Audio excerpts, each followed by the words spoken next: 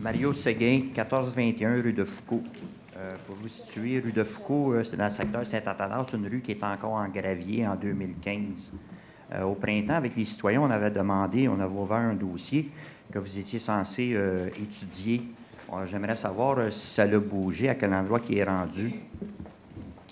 Bien, en fait, là, vous me parlez de la rue. ça dit que je n'ai pas tous les dossiers par cœur, mais je vais le vérifier, on va en prendre note. Il y a beaucoup de dossiers dans le secteur Saint-Athanas, effectivement. Il y a beaucoup d'études qui ont été faites. Il y a beaucoup de choses qui ont été évaluées euh, à travers ça. On a eu euh, une nouvelle dernièrement par la MRC concernant. Il y avait une zone qui était considérée en zone inondable qui ne l'est plus, dans le bout de la rue Kelly. Donc, oui, il y a des représentations qui sont faites. Oui, il y a de la cartographie qui sont faites. Mais précisément, si vous demandez ce soir de Foucault, je vais devoir faire des recherches puis vous revenir. OK. Ça serait à savoir euh, si la ville ne euh, prend pas les moyens pour la faire. Euh, on a fait une étude avec un entrepreneur euh, qui a fait une évaluation pour paver ah, la rue. Pour paver la rue. C'est ça. Puis on est 14, la rue, elle a 4 dixièmes. On est 14 citoyens qui demeurent là. Puis il a fait une évaluation. Ça serait 450 tonnes à 85 la tonne. il voulait avoir qu'est-ce que la ville recommandait comme pavage, mais il savait exactement c'est du commercial. Euh, ça faisait un montant de 38 250 puis environ 30 000 pour euh, niveler la rue, euh, nettoyer les ménaudes, puis c'était à 2 pouces et demi compacté. Puis ça nous ferait une, valeur de 4 875 par citoyen.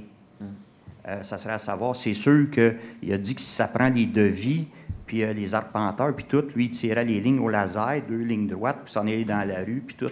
Euh, il dit, c'est sûr, si ça prend des devis, puis s'ils mettent les arpenteurs là-dedans, puis à, enlever euh, un pied de bonne taille, de bon euh, gravier, puis en remettre un pied, ça va nous coûter plus cher.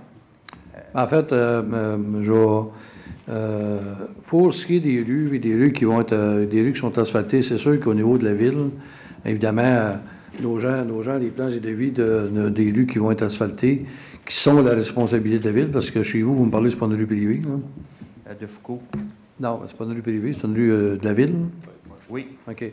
Mais la bonne nouvelle, ce que vous me dites, c'est que quand on parle au niveau des riverains, des résidents de chez vous, l'évaluation que vous avez faite, les gens, euh, ce que je comprends, ils s'appellent à faire asphalter la rue et à payer le code part. C'est ce que je comprends? Exact. Bon. Ce qu'on va faire, euh, on, a pris ça en note, on va vérifier avec nos gens d'infrastructure, OK? Pour être capable de regarder ce qu'on peut faire. si vous voulez, peut-être laisser vos coordonnées à M. Lapointe. OK, en privé. Puis à ce moment-là, on pourra avoir un lien pour vous le contacter. D'accord, merci. Merci beaucoup. Bonne soirée.